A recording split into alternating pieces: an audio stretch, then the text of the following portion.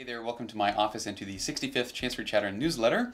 You can see in the newsletter that November was filled with great events, mostly focused on youth and vocations, and the month of January has some great opportunities for college students and young adults.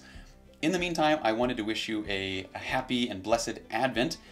It starts on this Sunday, so make whatever preparations you need uh, the wreath, the candles, and maybe something to help guide your family or your parish group through that time.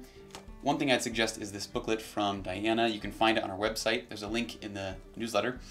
It's got a gospel excerpt and a short reflection and a prayer to go along with each week of Advent. So I think it might be a good resource uh, for you to use however you see fit. There's English and Spanish available there. So check that out and yes, please have a wonderful Advent, preparing some space in your heart and your home for the coming of our Lord Jesus Christ.